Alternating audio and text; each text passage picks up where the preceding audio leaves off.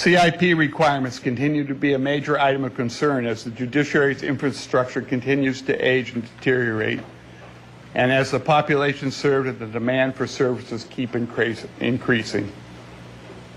To that end, and like last year, the need for funding for number one, for our number one priority item, that is the Kona Judiciary Complex, continues with our request for $81 million for construction to add to the 9 million provided last year. When we went to visit your various um, facilities on Kona, West Hawaii, um, I remember one of the bailiffs or something was saying, "Oh, we wish we could fix this up, but um, you know, um, no funding." And uh, of course, uh, as you recall, uh, uh, well, I yeah, I mean, you weren't there, but um, finance committee was. A bit surprised by how, um, how would you say, modest your facilities were on West Hawaii. Yes. The reason we're not requesting any uh, CIP CIP funds for the Kona area is because the idea or the hope is to, our number one priority item, to build a new courthouse. So we don't want to throw, I would- I would hate to say money down a No, but, but I'm talking about system-wide.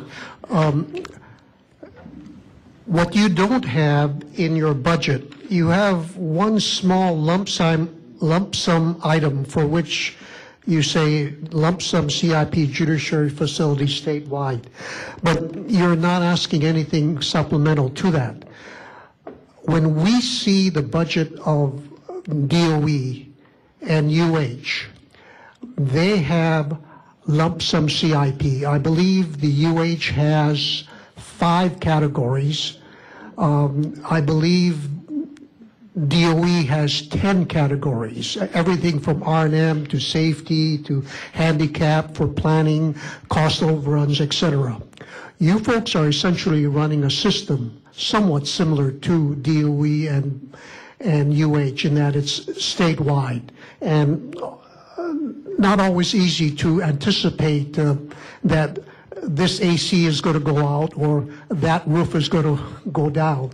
But you don't have any uh, lump sum CIP. So maybe, I mean, the suggestion might be that if you did have that, you might have an opportunity to do some preventive work that uh, would help your overall facilities, and also um, you might be able to um, do some emergency work um, or urgent work, such as uh, was mentioned uh, uh, to me when we were uh, during that tour of um, of West Hawaii.